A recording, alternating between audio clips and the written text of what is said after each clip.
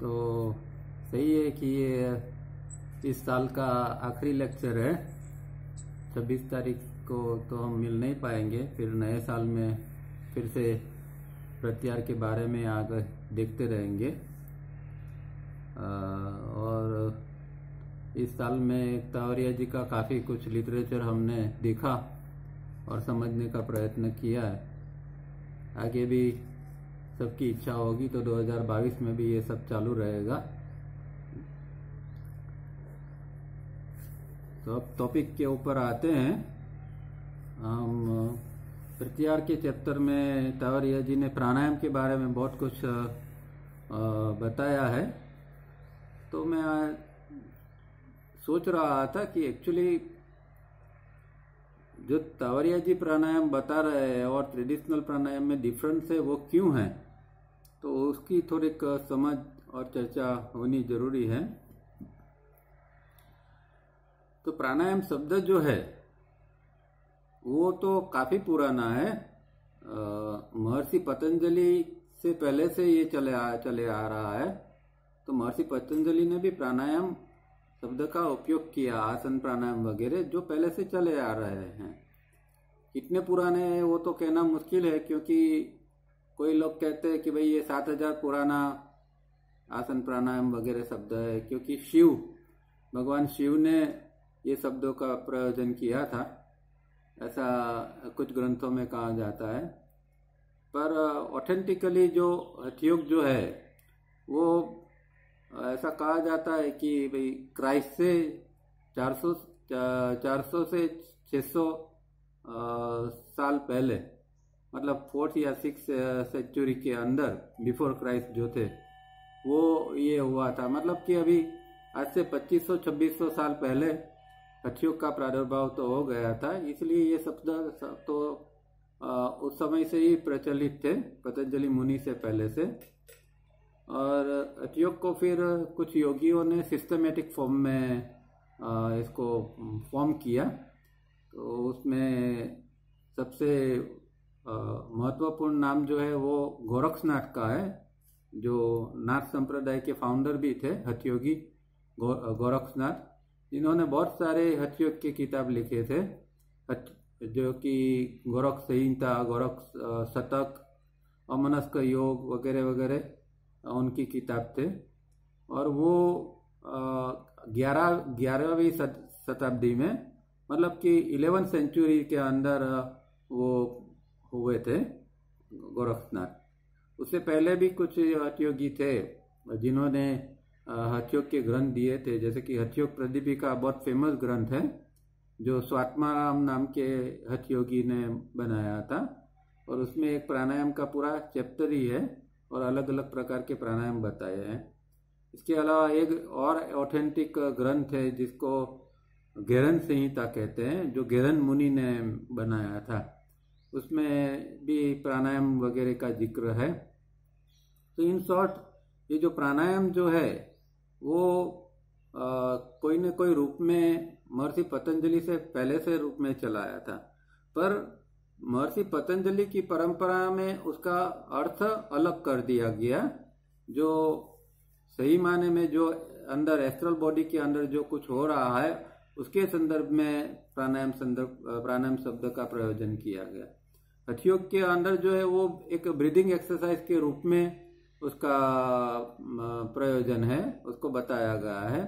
महर्षि पतंजलि ने और उसके बाद में उनकी परंपरा में तावरिया साहब ने जो प्राणायाम का अर्थ में जो बताया है, वो कुछ अलग ही है, क्योंकि वो जो है वो एस्ट्रल बॉडी के अंदर प्राण का किस तरह एक तो प्राण की जो मूवमेंट है, उसको समझना है, उसको समझना है और उस, उसका आयाम करना है उसको एक्सटेंड करना है उसका कंट्रोल करना है इसके ऊपर जो काम होता है उसको चैनलाइज करना है वो प्राण का आयाम है। तो वो वो जो क्रिया हकीकत में जो एस्ट्रल में घटित होती है आ, कुछ एडवांस प्रैक्टिस के बाद में उसी चीज़ को महर्षि पतंजलि की परंपरा में प्राणायाम कहा गया है। और इसी का ज़िक्र यहाँ तावरिया जी ने भी किया हुआ है। और बहुत अच्छी तरह बहुत डिटेल में तावरिया जी ने ये प्राणायाम जो इस तरह के जो रियल प्राणायाम है, उसके बारे में बताया। तो यहाँ कंफ्यूज होने की ज़रूरत नहीं है। मैंने सोचा कि थोड़ा इसलिए ये क्लियर कर दूँ कि क्योंकि भाई महर्षि पतंजलि ने प्राणायाम दिए है, वो तो रियल अर्थ में सही है, पर उससे पहले से जो आ रहा है, वो भी एक अर्थ में सही है, क्योंकि वो एक अलग प्रकार की प्रैक्टिस है, वो हथयोग की प्रैक्टिस है। और यहाँ जो महर्षि पतंजलि ने जो प्राणायाम बताया, वो अष्टांग योग के अंतर्गत एक पर्टिकुलर टाइप का एक टेक्निक का है या एक पर्टिकुलर टाइप की जो अंदर एक घटित होता है, वो चीज़ को प्राणायाम बताया गया है। तो ये दोनों चीज़ सही है और दोनों का अपने अपने ढंग से उसका उपयोग है तो ये जानना ज़रूरी है। क्योंकि जो महर्षि पतंजलि की ये परंपरा का प्राणायाम है, वो तो सामान्य आदमी के लिए तो है ही नहीं, वो तो बहुत मुश्किल बात है। वो जब तक काफ़ी समय तक, लंबे समय तक साधना करता नहीं है या साधना करने के बाद कि एक पॉइंट के ऊपर ये सब सारी क्रियाएँ उसके अंदर चालू होती है। तो उससे पहले उसको तो बहुत कुछ करना पड़ता है। तो उसके अंतर्गत व्यक्ति, वो ब्रीदिंग टेक्निक जो है, जो प्राणायाम जो है, उसका अभ्यास कर सकता है। तो इतना एक क्लैरिफिकेशन मुझे लगता है कि ज़रूरी है। अब ये चैप्टर को आगे पढ़ते हैं। Purpose of birth and death page number 282 first paragraph why are points one and two considered for regeneration point number one और टू क्या है?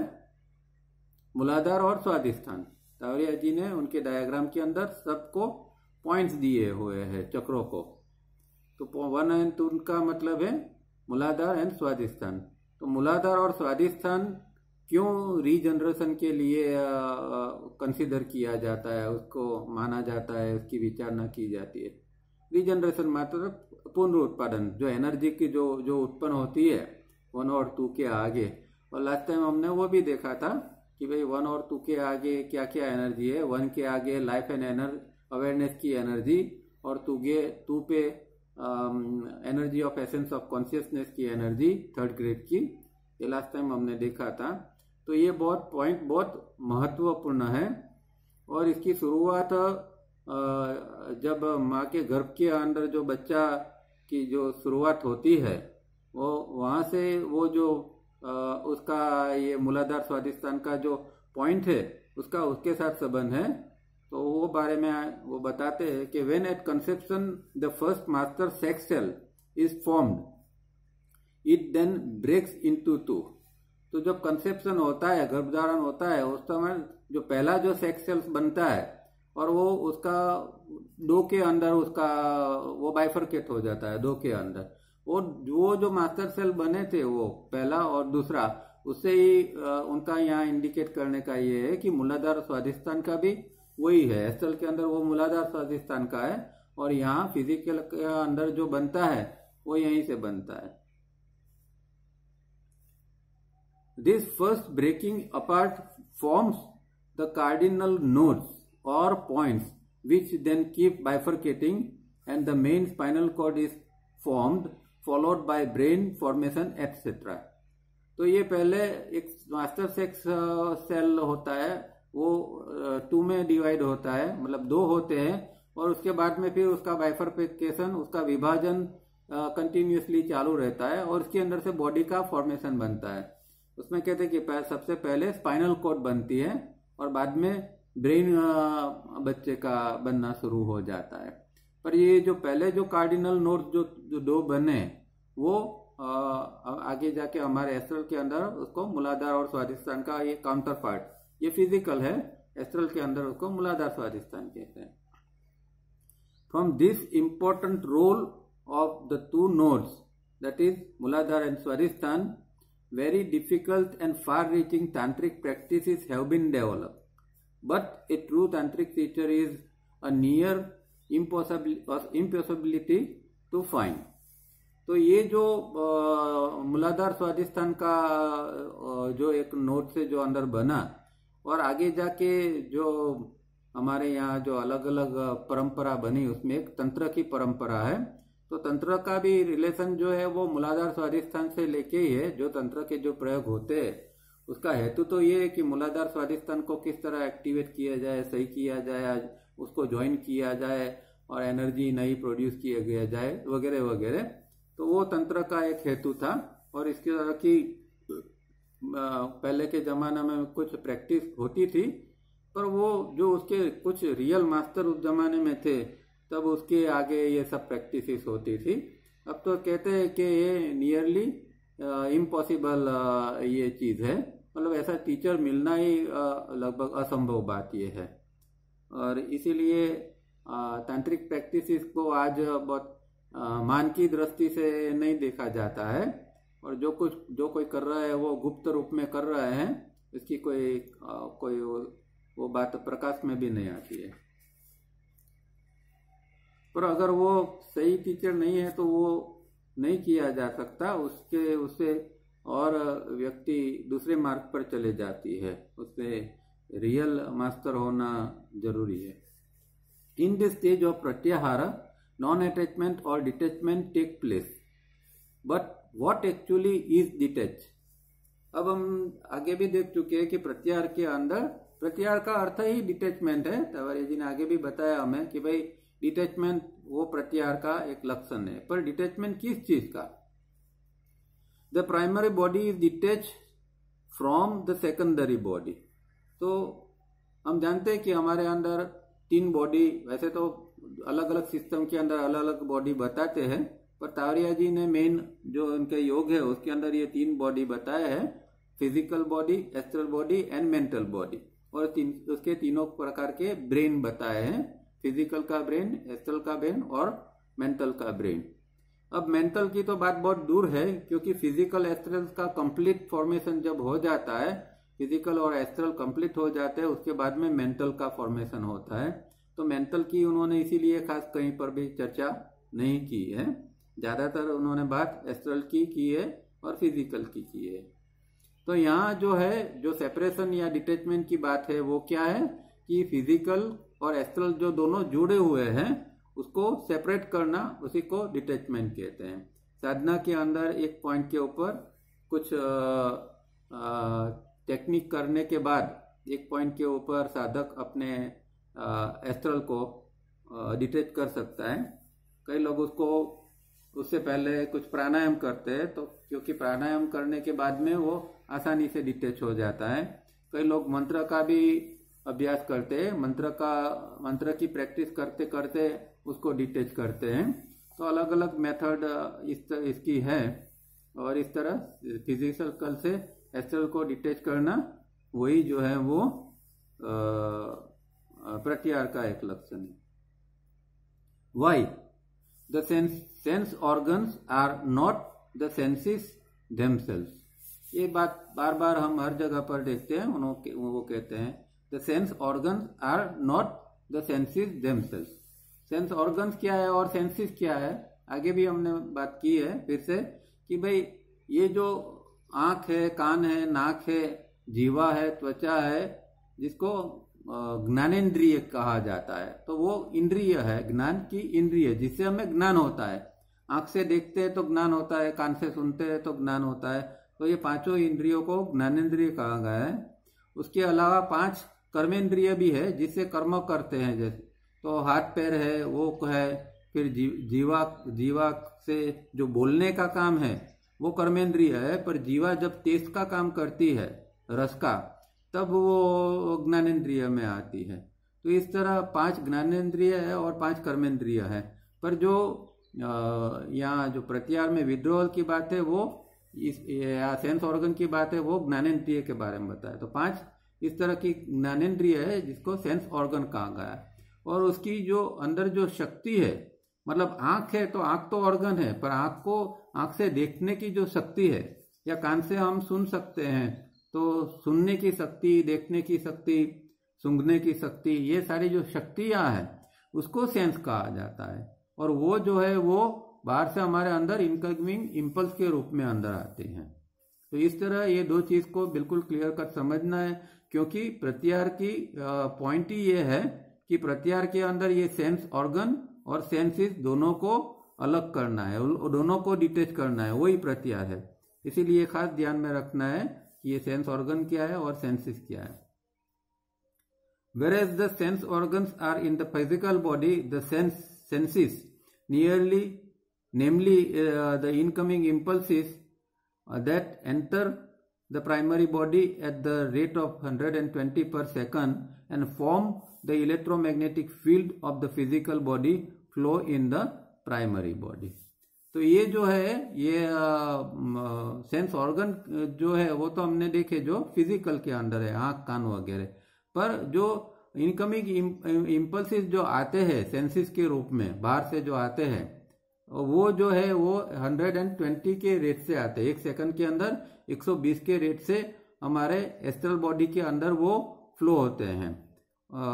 और उससे वो एक मैग्नेटिक इलेक्ट्रोमैग्नेटिक फ़ील्ड मतलब एक विद्युत चुंबकीय एक पूरा एक क्षेत्र बन जाता है और उसके बाद वो उसमें से गुजरते हुए फिर आगे वो प्राइमरी बॉडी में जाती है। तो वो आती है पहले, फिर फ़िज़िकल बॉडी का जो ये इलेक्ट्रोमैग्नेटिक फ़ील्ड है, उसमें एंटर होती है और उसमें से आगे जाके फिर वो प्राइमरी बॉडी हमारा जो है एस्ट्रल बॉडी उसमें चले जाते हैं। वो impulses 120 we are taking into account only those impulses we are concerned with in the thinking process for otherwise as dr king has said nearly 30000 impulses enter our system per second तो तीस हज़ार impulses हमारे body brain system में हर second पर enter होते हैं पर उसमें से 120 जो है वही ब्रेन में जाते हैं और वो थिंकिंग प्रोसेस के अंदर इसका उपयोग होता है। बाकी की जो इम्पल्सिस है, उसका और कोई ना कोई कुछ काम रहता है। जैसे बॉडी का मेंटेनेंस का काम है, दूसरा और कोई काम है बॉडी के लिए। वो सब कामकाज जो है, वो बाकी के इम्पल्सिस करते हैं। और कुछ इम्पल्सिस की जो ज़रूरत नहीं होती है, वो हमारे अंदर भी ब्लैक होल है ब्रेन के अंदर, और वो ब्लैक होल के अंदर चले जाते हैं और वो वेनिश हो जाते हैं। तो जैसे ब्रह्मांड के अंदर ब्लैक होल है, इस तरह था, और ये जी कहते हैं कि ब्रेन के अंदर भी ब्लैक होल है। और ब्लैक होल के अंदर बहुत सारे इम्पल्सिस चले जाते हैं। पर जो थिंकिंग प्रोसेस जो ब्रेन के अंदर जाते हैं तालुका से, उसकी प्रोसेस होती है, और उसमें से हम विचार बनाते हैं, जो आगे जाके आईएएसएम केंद्रों से व्यक्त होते हैं। तो इस तरह पूरी सारी प्रोसेस होती है, जो बॉडी में इम्पल्स आते हैं उसका, इस तरह ये प्रोसेस होती है।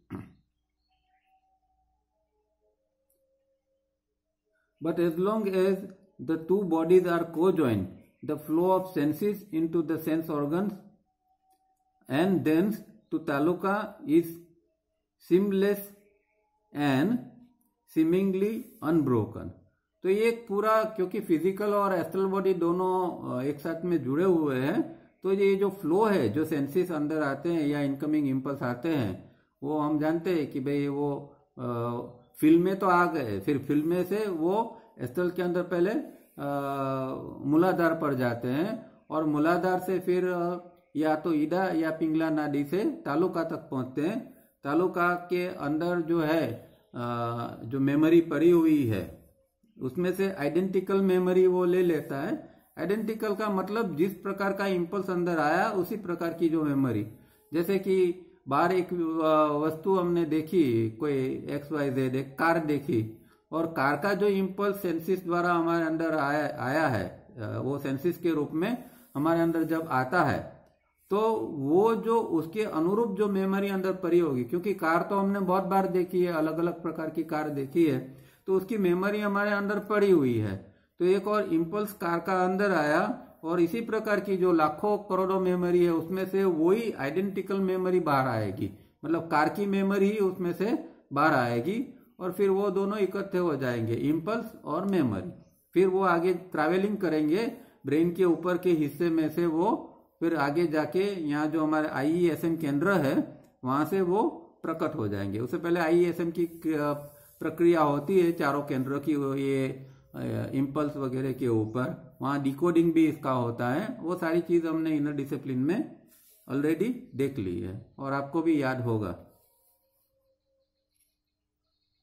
Earlier before this stage the major block और wall at taluka was always in open position so this incoming impulse is enter the passage over the top of the brain and in doing so pull out identical memory pattern from section 3a normally and these two together proceed to section 1 the registration area with the four vital points IASM where mind modification take place तो ये मैंने जो पूरी प्रक्रिया बताई यहाँ उसी की बात उन्होंने फिर ये की है कि ये जो सेक्शन थ्री ए के अंदर वो उसकी जो मेमोरी पड़ी है बहुत सारी मेमोरी इस जन्म की मेमोरी जो है वो उन्होंने यहाँ तालुका के अंदर दो सेक्शन बताए section three A and section three B तो थ्री ए के अंदर उसको सेलो मेमोरी कहते हैं और सेलो मेमोरी में इस जन्म की सारी मेमोरी होती है।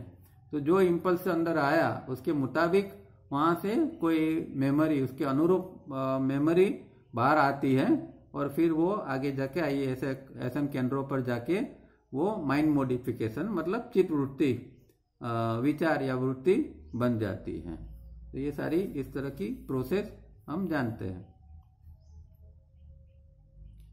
In the case of ordinary person now and even tomorrow will this be the same old story but in Pratyahara there is a total change अब ये जो, अब हमने आगे जो पूरी प्रोसेस देखी इनकमिंग इम्पल्स की से लेके जब तक वो विचार बनता है वो एक ऑर्डिनरी व्यक्ति जो है कि जिसका वाल हमेशा चौबीसों घंटे ऊपर का खुला रहता है तो ब्रेन के अंदर जो इम्पल्स आते हैं, वो वो चाहे ना चाहे वो ब्रेन के अंदर घुस ही जाएँगे। क्योंकि तालुका के पास में जो वाल है, जब तक वो खुला रहता है, तब तक इम्पल्सिस अंदर ही जाने वाले हैं और कहीं जा नहीं सकते।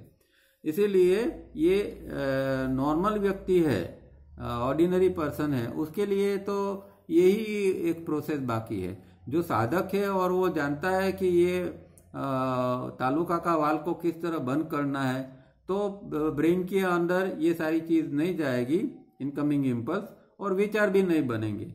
बाकी तो ये विचार बनना तय है। और अभी हम जब मेडिटेशन करते हैं तब ये ट्राई करते हैं कि भाई हमारे अंदर विचार न हो तो ये तो नामुमकिन सी बात है क्योंकि जब तक वाल खुला है तो, तो अंदर आ ही जाएँगे तो वो उस समय फिर मेडिटेशन में हम चाहे जितना भी मेडिटेशन कर ले कुछ हल्के हल्के विचार भी चालू तो रहेंगे। हम्म, ये हमेशा सबने अनुभव सबका अनुभव होता है जो मेडिटेशन करते हैं। The stage the stage Pratyahara is a pretty long one तो ये प्रत्याहार का जो उसका जो दायरा है वो काफ़ी लंबा है। कई बार तो कई जन्म ले लेते हैं क्योंकि प्रत्याहार में बहुत सारी चीज़ें घटित होती है। और लंबे समय तक उसको फ़िज़िकल और एस्ट्रल का सेपरेट सेपरेट करके डिटेच करके उसका अनुभव लेना पड़ता है। सेपरन से से और बाहर का अनुभव लेना पड़ता है। अलग अलग यूनिवर्सिस क्या है? एस्ट्रल यूनिवर्स क्या है? एस्ट्रल यूनिवर्स के अंदर भी अलग अलग क्या क्या चीज़ है। ये सब अनुभव उसको लेना पड़ता है प्रत्यार्थ स्टेज के अंदर। तो कई बार बहुत जन्म तक, लंबे समय तक ये चलता रहता है। What happens when detachment of the two bodies take place अब ये क्या होता है कि, कि जब दो बॉडी अलग हो जाते हैं फ़िज़िकल से एस्ट्रल अलग होता है तो क्या होता है? क्या प्रोसेस होती है? We can ask what happens when detachment of the retina take place अब आप जानते होंगे कि हमारे आँख के अंदर एक रेटिना पीछे के हिस्से में चीज़ है जो रेटिना के कारण ही हम देख सकते हैं। और वो रेटिना अगर वो डिटेच हो जाता है मतलब अंदर वो अलग पड़ जाता है आँख से तो विजन के अंदर काफ़ी तकलीफ़ उत्पन्न होती है। तो वही यहाँ कहते हैं कि अगर एस्ट्रल में ये जैसे ये फ़िज़िकल में इस तरह होता है, इस तरह एस्ट्रल के अंदर क्या हो सकता है? तो कहते हैं कि but detachment of the primary body the astral from the secondary body the physical means a clinical death of the physical body अब जैसे उसमें रेटिना डिटेच हो जाता है तो दिखाना बंद, दिखना बंद हो जाता है। यहाँ फ़िज़िकल से एस्ट्रल जब अलग होता है तो टेम्परली क्या होता है कि फ़िज़िकल एज इफ़ जैसे डेथ हो गया उसका। मतलब वो शरीर के अंदर अभी श्वास नहीं चलते या एकदम धीमे धीमे बहुत धीमे। शायद पकड़ भी नहीं सके इससे धीमे, क्योंकि उसमें सारी अंदर की प्रोसेस ऑलमोस्ट स्टॉप हो जाती है। इवन हार्ट बीट्स भी बंद हो जाते हैं। तो ये सब एक बहुत डेंजर प्रक्रिया होती है। और व्यक्ति को इसीलिए ये सब गुरु के अंदर ही करना पड़ता है। और खास करके जो हमारा डिवाइन फ्रेगमेंट है, दिव्य गुरु है, उसके अंदर ये प्रोसेस करनी पड़ती है। क्योंकि फ़िज़िकल बॉडी का ज़िंदा रहना ज़रूरी है। एस्ट्रल छोड़ दिया और फ़िज़िकल का अभी तो क्लिनिकल डेथ जैसा है पर एक्चुअल डेथ हो जाता है तो फिर एस्ट्रल बॉडी वापिस ही नहीं आ सकता। तो ये इसीलिए ये प्रक्रिया जो है वो गुरु के गाइडेंस में करना होता है। और आप जब रमन महर्षि का पढ़ेंगे तो उन्होंने खास बताया कि उनको ये क्लिनिकल डेथ का दो बार अनुभव हुआ था। आ, जैसे कि पूरी बॉडी पूरा बॉडी का पूरा डेथ हो रहा है और किस तरह धीरे धीरे उसकी क्रियाएँ बंद होती जाती है। और एक तो खाली 16 साल के तब थे तब उनको क्लिनिकल डेथ का अनुभव हुआ था। मतलब कि उनका भी जो पूर्व जन्म की यात्रा से उनको ये सब आ, अपने आप में ये होता था क्लिनिकल डेथ मतलब ये एस्ट्रल का डिटेचमेंट वगैरह उनको अपने आप में होता था। और ये दो बार उन्होंने इस तरह का अनुभव किया था। और आगे भी किया होगा पर दो बार का तो उल्लेख उसमें मिलता है। Please do not do not mix this up with any type of trance for unlike in a trance there is awareness all the way absolute awareness throughout तो कई लोग इसको ट्रांस के साथ में, क्योंकि ट्रांस के अंदर भी बॉडी ऐसा थोड़ा ये हो जाता है तो क्लिनिकल डेथ को ऐसा लगता है कि भाई ये ट्रांस के अंदर व्यक्ति चला गया है। पर ट्रांस नहीं है, जब क्लिनिकल डेथ का जो साइन होता है, वो बिल्कुल अलग होता है, क्योंकि उसके अंदर पूरी पूरी अवेयरनेस बनी रहती है। जब व्यक्ति ट्रांस में चला जाता है तो अवेयरनेस नहीं रहती है। ये दोनों के अंदर सबसे बड़ा इम्पोर्टेंट डिफरेंस ये है कि ट्रांस के अंदर, व्यक्ति के अंदर कई बार बाहर की अवेयरनेस चली जाती है। वो अंदर से अवेयर हो सकता है, पर बाहर की, उसकी अंदर फ़िज़िकल बॉडी की अवेयरनेस और सब कुछ चला जाता है। जबकि ये जो है, ये जब क्लिनिकल डेथ की प्रोसेस होती है, तब भी उसकी अवेयरनेस अंदर से बनी रहती है और थ्रू आउट बनी रहती है। When the astral is detach from the physical body contact is maintain directly at the front brain section one of the physical brain the registration area where all later transcendental experience will also be registered to become knowledge and experience of the personality, for then alone is redeeming is possible. तो ये जब physical का और astral दोनों apart होते हैं अलग होते हैं तो कांटेक्ट कहाँ से होता है ये अपना जो सेक्शन वन है, जो आईएएसएम केंद्र वाला जो एरिया है क्योंकि जो एक्सपीरियंस होता है, उसको एस्ट्रल के अंदर, मानो कि एस्ट्रल बाहर गया और उसको वहाँ से कुछ अनुभव हो रहा है तो वो अनुभव का रजिस्ट्रेशन होना ज़रूरी है। अगर वो रजिस्ट्रेशन ब्रेन के अंदर नहीं हुआ तो वो अनुभव का उसको पता ही नहीं चलेगा। वो जब जागेगा तो जैसे कि कई बार हम नींद के अंदर होते हैं और नींद में कौन से सपने आए वो हमें याद नहीं रहते हैं। चाहे उसका थोड़ा बहुत रजिस्ट्रेशन हुआ हो या नहीं भी हुआ हो। पर इस तरह एस्ट्रल का रजिस्ट्रेशन होने के लिए सेक्शन वन का साथ में उसका कनेक्शन ज़रूरी है। ताकि वो जो ट्रांसेंडेंटल एक्सपीरियंस उसको होते हैं, वो जो इंद्रियातीत अनुभव उसको होते हैं, उसका यहाँ इसके ब्रेन के अंदर उसका रजिस्ट्रेशन होता है, उसकी नोट होती है, उस, वो फिर नॉलेज बन जाता है और वही इसकी पर्सनालिटी बनती है। पर वो पर्सनालिटी फ़िज़िकल नहीं है, वो एस्ट्रल की पर्सनालिटी है। और कहते हैं कि उसके बाद में रिडम्सन की प्रक्रिया चालू होती है। मतलब रिडम्सन बाद में पॉसिबल होता है। इन शॉर्ट समझना ये है कि ये जो एस्ट्रल के अंदर जो एस्ट्रल जो अनुभव ले रहा है, वो ब्रेन को जानना ज़रूरी है। तब वो इसका, वो अनुभव को अपने अंदर रख सकता है। कभी कई बार किसी को गाइडेंस देना है या कोई इसकी बात करते हैं तो वो समझ भी सकता है कि भाई हाँ ये ट्रांसेंडेंटल एक्सपीरियंस मुझे भी ये हुआ था। तो इसीलिए ये नॉलेज उसके पास होना बहुत ज़रूरी है। अब एक कोटेशन से through non attachment does not consist in separating oneself from one's possession but to possess as if one did not possess क्या कहते हैं यहाँ? क्योंकि ये नॉन अटैचमेंट शब्द यहाँ फ़िज़िकल और एस्ट्रल का होता है और सेंसिस और सेंस ऑर्गन का ये नॉन अटैचमेंट शब्द बार बार यूज़ कर, किया जाता है। पर क्या होता है कि नॉर्मल कोर्स के अंदर लोग जो त्याग करते हैं उसको भी नॉन अटैचमेंट कहते हैं और जो अपनी चीज़ होती है जो पोजेशंस होते हैं उसके पास में चीज़ों का उसको छोड़ देते हैं उसको नॉन अटैचमेंट मानते हैं। तो वो कहते हैं कि वो नॉन अटैचमेंट नहीं है।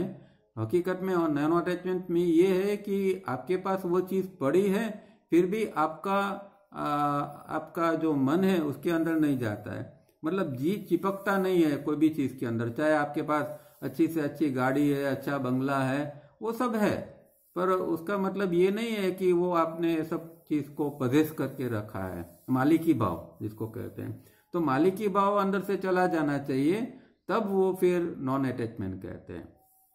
और हमारे यहाँ जो राजा जनक का दृष्टांत हमेशा ये दिया जाता है, ये नॉन अटैचमेंट के बारे में। कि वो तो पूरा राजा था पूरी नगरी उसकी थी आ, फिर भी उसकी अंदर की स्थिति थी वो ये नॉन अटैचमेंट की थी वो उसके वो कोई भी चीज़ के अंदर उसका वो जी चिपकता नहीं था। वो जैसे एजिप त्रस्ती त्रस्ती की तरह वो जीता था। उसके अंदर मालिकी भाव नहीं था। The man who is capable of true detachment is describe thus अब आगे भी कुछ कोटेशन आते हैं।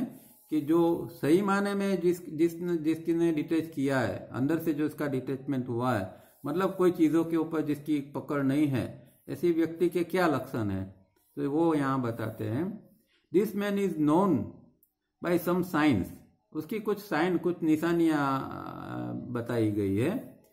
He never complains never makes excuses when accused he leaves facts to vindicate him There is nothing he wants on earth or in heaven but what God wills. ये बहुत बहुत ऊँची चीज़ यहाँ बताई है, लक्षण बताया है।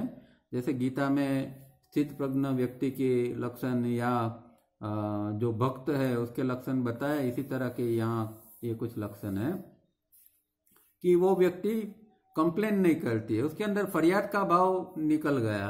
उसको उसकी कोई डिमांड ही नहीं है तो वो कंप्लेन ही नहीं बनेगी। जब हमारी डिमांड होती है और डिमांड फुलफिल नहीं होती है तब कंप्लेन आती है कि मुझे ये चीज़ नहीं मिली मुझे वो चीज़ नहीं मिली।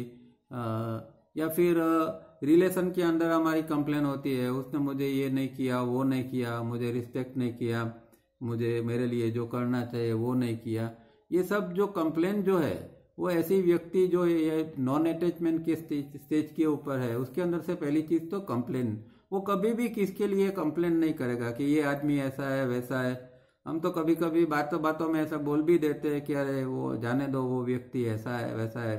पर वो जिसने ये नॉन अटैचमेंट सिद्ध किया है, वो कभी भी किसकी कंप्लेन नहीं करेगा, किसी चीज़ की। नेवर मेक्स एक्सक्यूज वो कोई भी प्रकार का ये नहीं करेगा, स्व बचाव नहीं करेगा एक्सक्यूज नहीं करेगा कि नहीं नहीं, ऐसा हुआ है इसीलिए मुझे ये करना पड़ेगा। या हम हर चीज़ के अंदर एक्सक्यूज ढूंढ निकालते हैं। जहाँ हम गलत साबित होने जा रहे होते हैं, तहाँ हम इमीडिएटली ये कर देते हैं कि भाई नहीं, हम ये तो उसमें मेरा कसूर है ही नहीं। ऐसे एक्सक्यूज बना लेते हैं।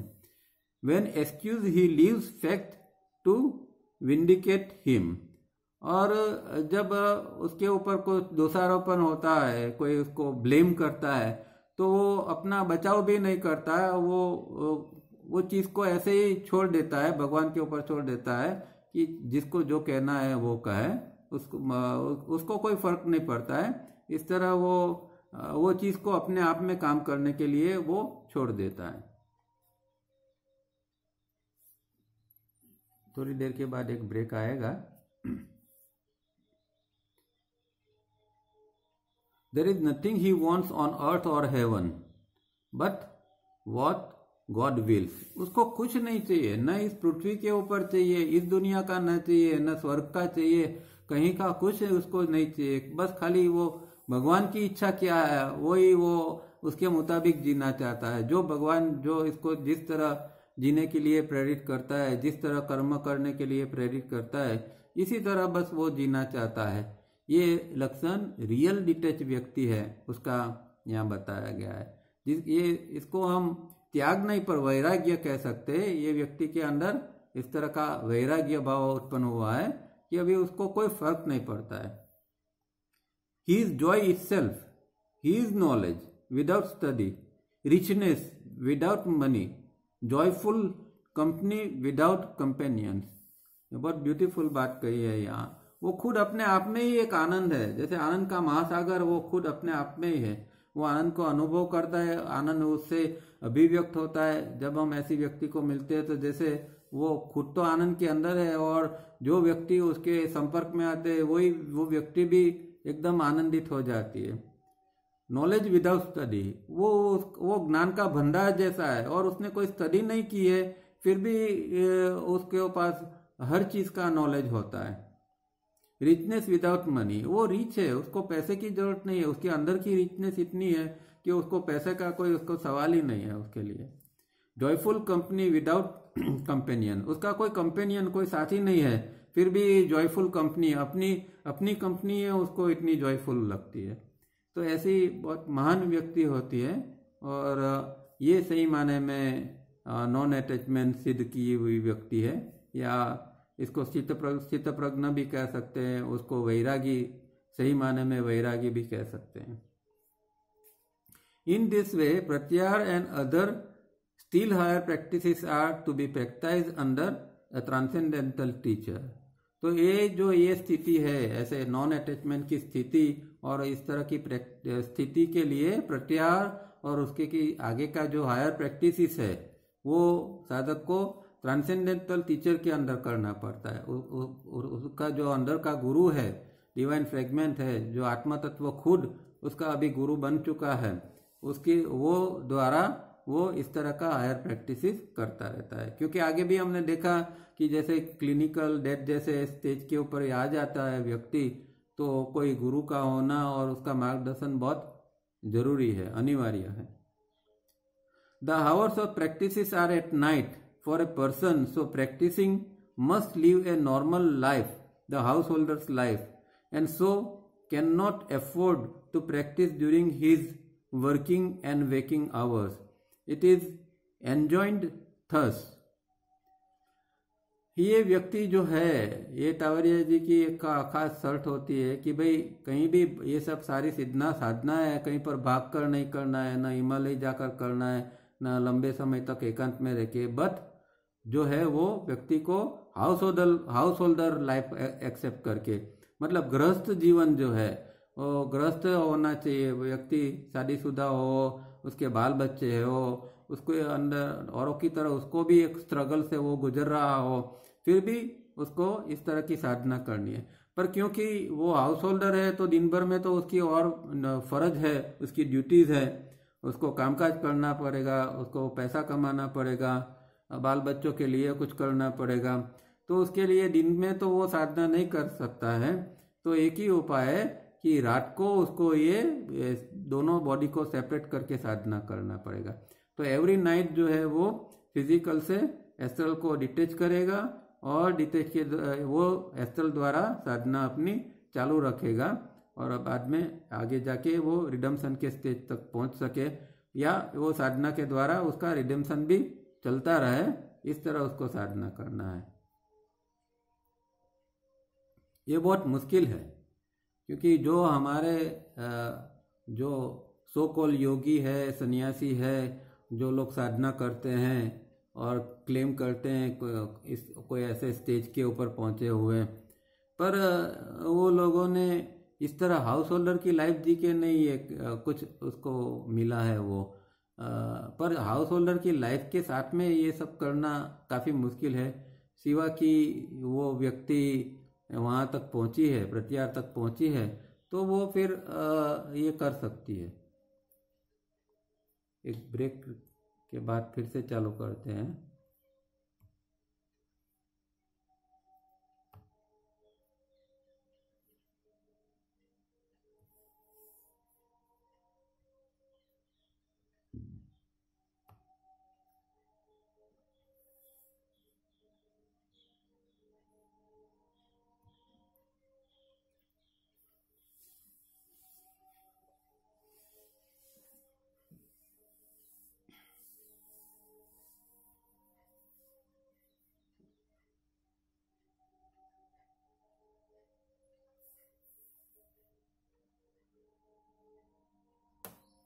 और इसलिए वो वही बात यहाँ भी फिर से दोहराते हैं।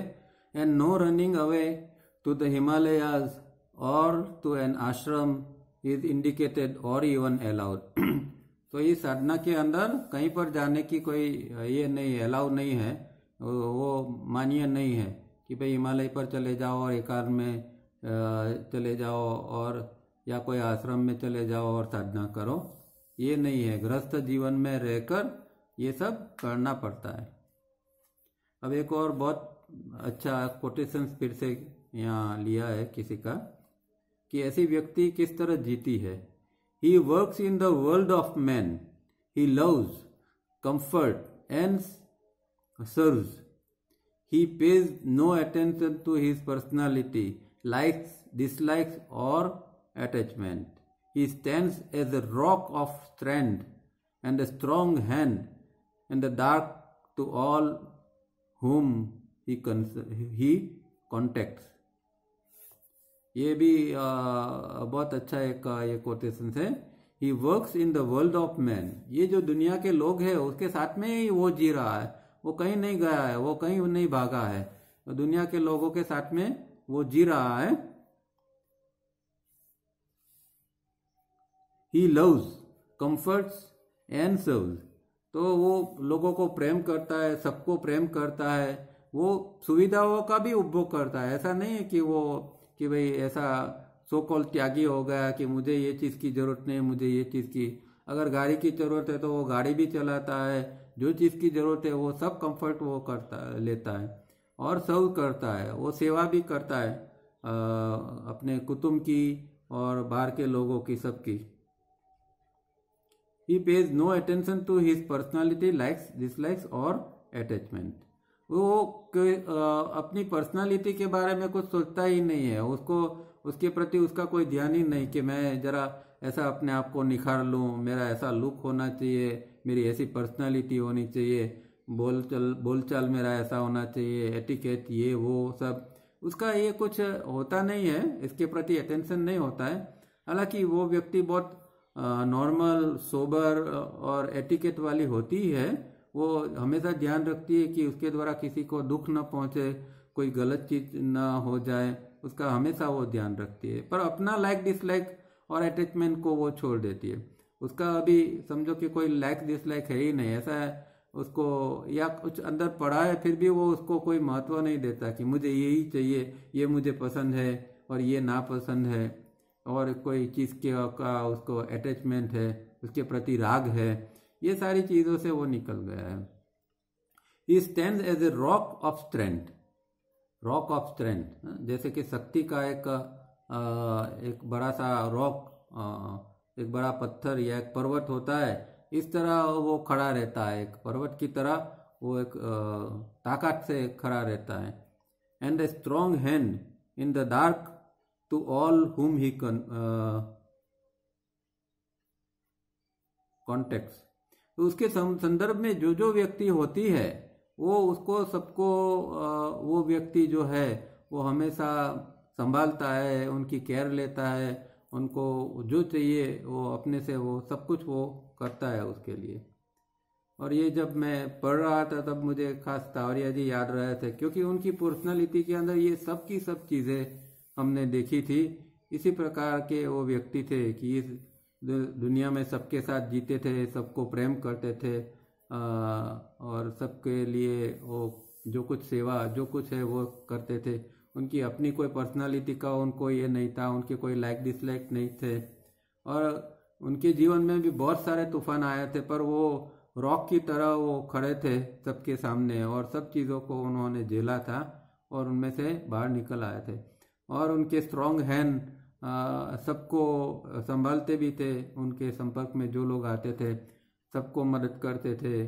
और एक बार तो उन्होंने किसी को कहा भी था कि भाई, तुम्हें अगर दुख आता है तो देखो, मैं अगर यहाँ हूँ, तुम्हारे साथ में और दुख आता है तो मैं तुम्हें संभाल लूँगा। जब मैं नहीं होऊँगा और तुम्हें दुख आएगा तो तुमको टिकना या संभलना बहुत मुश्किल हो जाएगा। तो उनका ये एक हमेशा रहता रहता था कि कोई व्यक्ति दुखी है तो वो व्यक्ति को हमेशा उनको पता होता था। जैसे कि एक व्यक्ति के बच्चा का डेथ होने वाला था तो उसको पता था कि व्यक्ति का बच्चे का डेथ होने वाला है। तो एक दिन सुबह सुबह में वो वहाँ चले गए, वो बच्चा हॉस्पिटल में था, वहाँ चले गए और उसके माँ बाप को बहुत उन्होंने ये किया थपथपाया दोनों को वो व्यक्ति को तो चेस्ट पर उसको हाथ रख के उसको ऐसे ये किया। और इस तरह जैसे एक हिम्मत देते हैं, उसकी शक्ति देते हैं, इस तरह उन्होंने ये दोनों को किया। क्योंकि उनको पता था कि आगे जाके इसका, इनका बच्चा गुजर जाने वाला है और ये लोग बहुत दुख में आ जाएँगे। तो इस तरह की उनका जीवन था। आगे देखते हैं। The other reason for practising at night is that the physical body gets the much needed sleep, sound sleep that revitalize it, whilst the astral body begins travel and the difficulty arising uh, therefrom. तो ये एक दूसरा कारण ये भी है कि रात को प्रैक्टिस करने का कि भाई रात को फ़िज़िकल बॉडी के जो आराम की ज़रूरत है। तो फ़िज़िकल बॉडी तो स्लीप में चला गया वो तो पूरा आराम के अंदर ही है एकदम साउंड स्लीप के अंदर है और अपने आप को रिवाइटलाइज कर रहा है फिर से वो एनर्जी प्राप्त कर रहा है। और एस्ट्रल जो है वो कहीं दूर जाके एस्ट्रल प्लेन के ऊपर जाके एस्ट्रल जगहों के अंदर जाके आ, मतलब कि भूवलोक की कोई कोई जगहों के क्योंकि हमने देखे ना कि सब लोग के सात सब स्टेजिस है। तो भू के सब स्टेजिस है, इस तरह भूव के भी सात स्टेजिस है। तो भू के जो फोर्थ सब स्टेज तो वो जानता है व्यक्ति, पर फिफ्थ सिक्स सेवन नहीं जानता है तो वो एस्ट्रल से फिफ्थ सिक्स सेवन को भी जान सकता है। फिर एस्ट्रल के जो सात सब स्टेजिस है, उसको भी वो कहीं जाके वो सब उसका भी अनुभव करता है, सब क्या चीज़ कहाँ है, इस तरह की ट्रैवलिंग करता है। और आगे किस तरह की क्या डिफिकल्टी डिफिकल्टी है या हो सकती है, वो भी वो ये सब देख लेता है। The coded messages are transmitted to the brain section one directly instead of through the usual route as in diagram one two or three A and for proper interpretation of all that is at first strange in a new dimension. ये normal procedure इन्होंने बताई है कि ये one two three A के अंदर हो जाता है। वो मतलब diagram one two three A के व्यक्ति जो है, वो जैसे हमने आगे बात की ना, कि इस तरह की व्यक्ति के अंदर क्या होता है कि इम्पल्स वो ईडा पिंगला से होके तालुका में जाता है और तालुका से ब्रेन में चला जाता है। उसके बदले में ऐसा इसको, इसके साथ नहीं होता है। जब उसका एस्ट्रल बॉडी अलग होता है। तब क्या होता है कि उसका बॉडी उस, उसके अंदर इम्पल्स जो है वो डायरेक्ट सेक्शन वन में जाते हैं। नॉर्मल कोर्स में वो घूम के जाते हैं। मूलाधार से ऊपर होके तालुका तालुका से ब्रेन में सेक्शन वन में आता है। यहाँ जब वो, वो एस्ट्रल ट्रैवलिंग करता है तो उसका डायरेक्ट कनेक्शन जो है वो सेक्शन वन के साथ मतलब इम्पल्सिस जो है वो सीधे के सीधे सेक्शन वन में आ जाते हैं और वहाँ उसका रजिस्ट्रेशन हो जाता है। Thousands of such nightly is under the safe and able guidance of the divine fragment are conducted. Uh, visits ये यहाँ थोड़ा ये प्रिंटिंग में थोड़ी ये है such nightly visits under the safe and able guidance of divine fragment are conducted तो thousands मतलब हज़ारों बार उसको आना जाना होता है। हर रात को वो जाता है और फिर आता है। इस तरह हज़ारों बार कई बार तो एक ही रात में कई बार वो जाता है और आता है। इस तरह हज़ारों बार इस तरह का ये अभ्यास कर, अभ्यास करता है हज़ारों विज़िट करता है। आ, और वो सारी अपने डिवाइन फ्रेगमेंट के गाइडेंस के अंदर ये करता है। Normally many lives are required to have a detailed scientific knowledge and proper understanding. No hasty glimpse in uh, trance-like condition will ever do and is never possible. तो ये जो है इसके अंदर हमने आगे भी बात की अभी कि भाई इसमें आ, आ, बहुत लंबा समय तक के लिए ये प्रत्याय का स्टेज चलता है और यहाँ क्लियर कर बताते कि मैनी लाइव आर रिक्वायर्ड ये जन्मों जन्म तक की इस तरह की ये प्रोसेस चलती रहती है प्रत्याह और आगे के जो स्टेज है उसके लिए और साइंटिफिक नॉलेज जो है, उसके द्वारा वो डायरेक्ट फ़र्स्ट हैंड नॉलेज जिसको कहते हैं, वो फ़र्स्ट हैंड नॉलेज वो हमेशा लेता है और उससे उसकी एक प्रॉपर अंडरस्टैंडिंग बनती है। क्योंकि उसका खुद का अनुभव है, उसने जो देखा है, उसने जो समझा है, वो खुद का अनुभव है, इसलिए उसकी एक प्रॉपर अंडरस्टैंडिंग उसके अंदर बनती है। और उसके अंदर जो ट्रांस ट्रांस के अंदर जिस तरह के ग्लिम्सिस आते हैं, ऐसी कोई कंडीशन इसके अंदर नहीं बनती है। उसके अंदर right type of knowledge and right understanding उसके अंदर डेवलप होती है। Every night at every night the disciple consciously watches अब हर रात को वो बहुत एकदम निरीक्षण करता रहता है कि क्या हो रहा है, इसका एस्ट्रल बॉडी छूटता है किस तरह छूटता है कहाँ जाता है क्यों क्या कर रहा है? क्योंकि आ, ये सारी चीज़ें उसका जो गुरु है वो अंदर से डायरेक्ट करता है कि भाई अभी तुम्हें यहाँ जाना है इस जगह पर अनुभव लेना है ये अनुभव लेना है।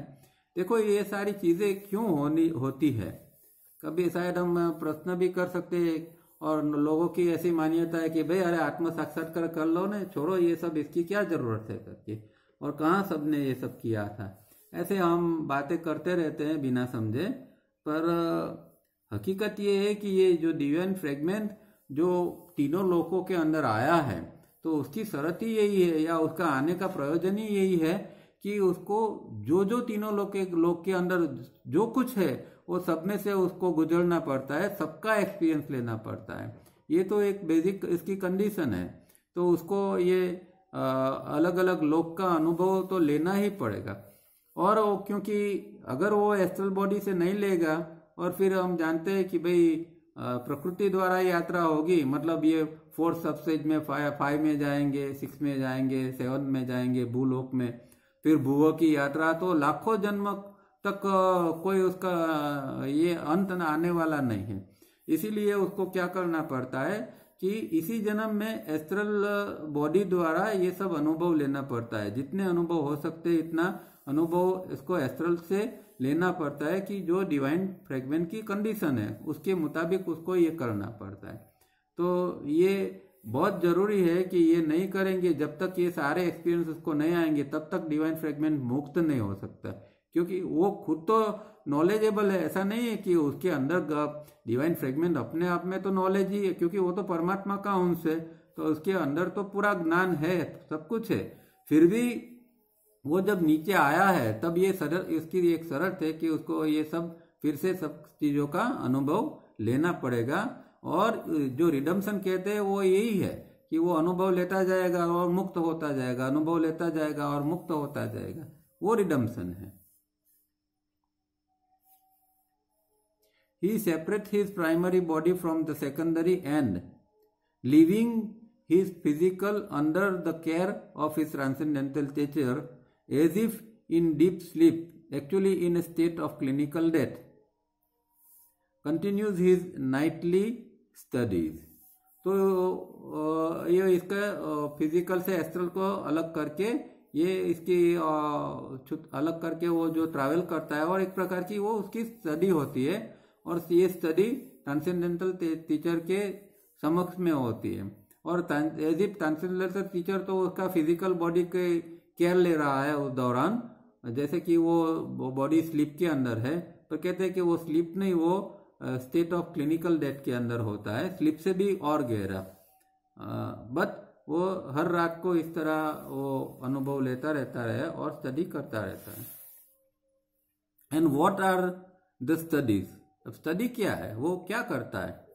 The disciple now understand that the physical body is only an earth module and that the Kennedy base the launching pad is beyond this universe in the ring pass not from where both the bodies were launched and from where they are also operated and where all thought motive and act are recorded faithfully in the three super micro recording monitors in the causal body.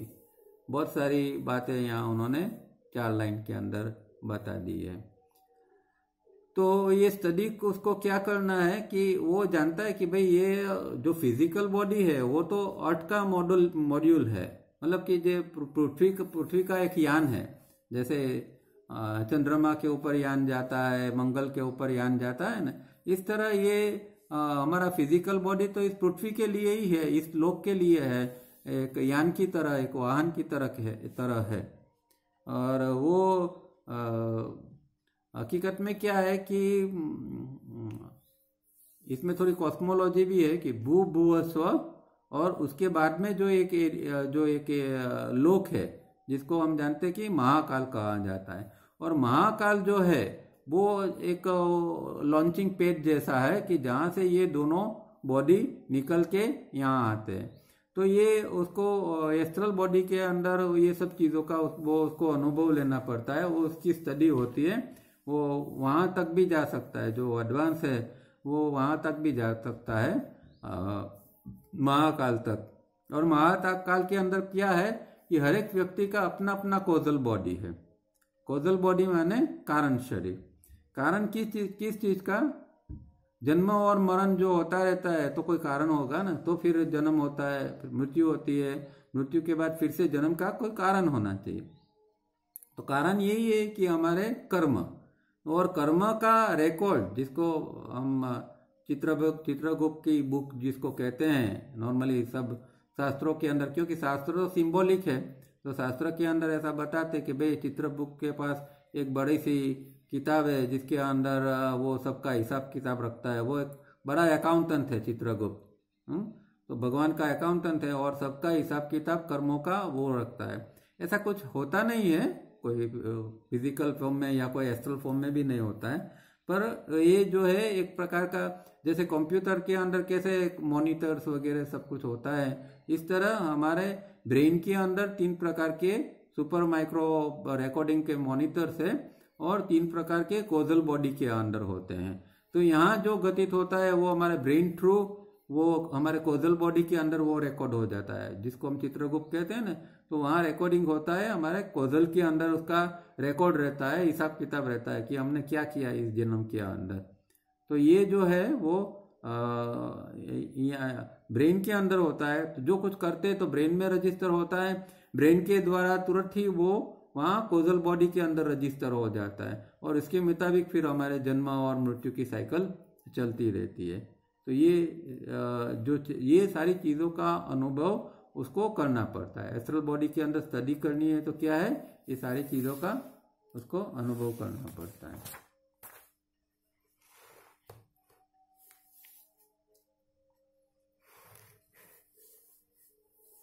But in the case of the ordinary person, on reaching this earth, this earth module forgets its main purpose of being a module only for uh, research and scientific work and for fulfilling the only purpose that is redeeming which should be completed in as few visits as possible so as to return to the base of base for good तो अभी problem क्या है कि ये यान जो यहाँ आया तो सही, वो मॉड्यूल आ गया अर्थ मॉड्यूल मतलब फ़िज़िकल बॉडी का जन्म हो गया। पर उसका जो हेतु था, वो ये मॉड्यूल भूल गया कि भाई ये किस हेतु से ये फ़िज़िकल बॉडी में मेरा जन्म हुआ है।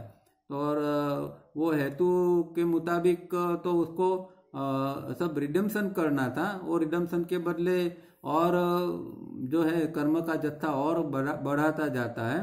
और इस तरह जीता जाता है। बाकी तो उसको यहाँ आके ये इसका जो हेतु है वो करना है और इस तरह उसको वो साइंटिफिक वर्क करना पड़ता है रिसर्च एंड वर्क जिस तरह बाहर की दुनिया में होता है इस तरह, अंदर की ये स्टडी होती है और उस तरह उसको रिडीम करना पड़ता है। पर ये सारी चीज़ जो है वो यहाँ इसके होती नहीं है और फिर उसको वापस इसी तरह रिटर्न होना पड़ता है, जो उसका बेस है। मतलब कि जो महाकाल है। क्योंकि दूसरी बात क्या है कि जब कोई व्यक्ति का डेथ होता है तो क्या होता है? तो हम देख, जानते हैं कि भाई उसके अंदर तीन बॉडी है फ़िज़िकल है एस्ट्रल है मेंटल है और फिर आत्म तत्व है। अब डेथ हुआ तो फ़िज़िकल तो यहाँ खत्म हो गया, ठीक है?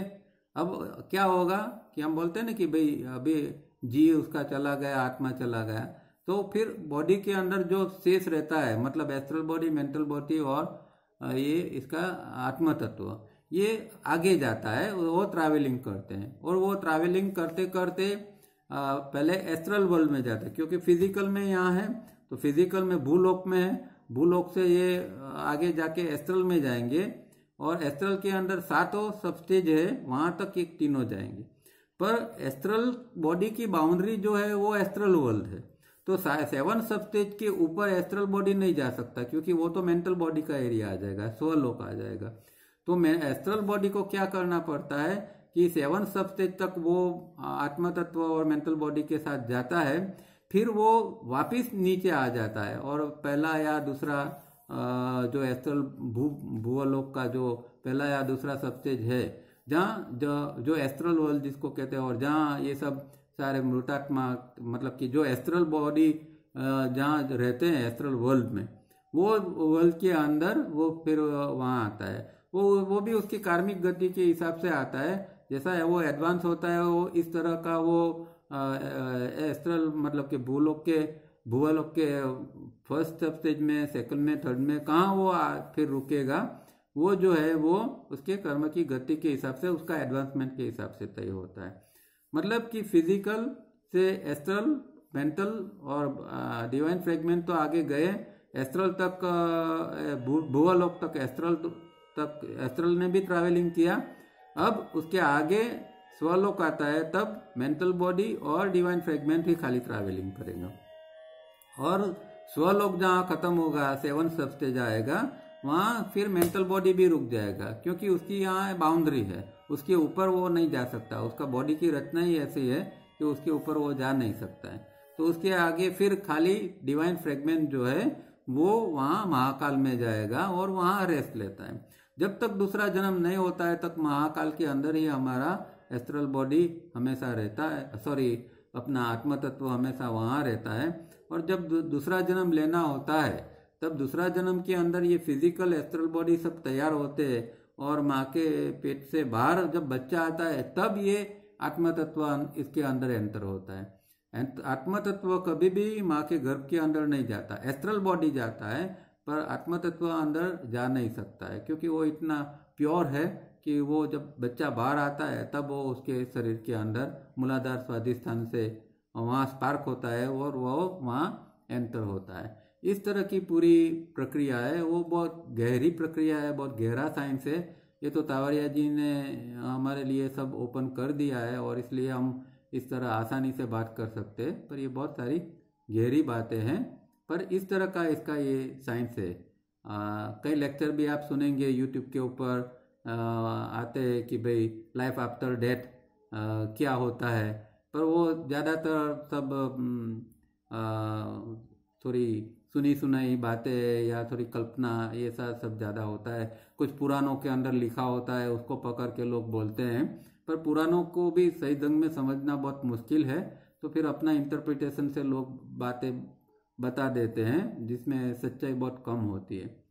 तो ऐसी चीज़ों को बहुत सुनने का कोई अर्थ नहीं है, उससे हम मिसअंडरस्टैंडिंग हमारे अंदर क्रिएट होती है।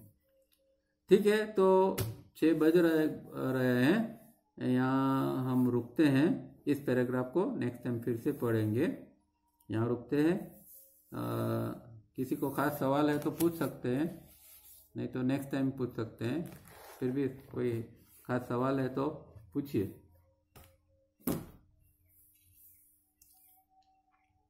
સાહેબ નમસ્તે ઉમેશ હા નમસ્તે બોલો આજે કોઝલ બોડી તમે જે કીધું ને હા એ સર નેક્સ્ટ ટાઈમ પાછું સમજાવજો ઓકે ઓકે બહુ બહુ બહુ પ્લીઝ હા થેન્ક યુ થેન્ક યુ તારા સાહેબ ઓકે ઓકે ભલે ભલે ભલે બીજા કોઈને કાંઈ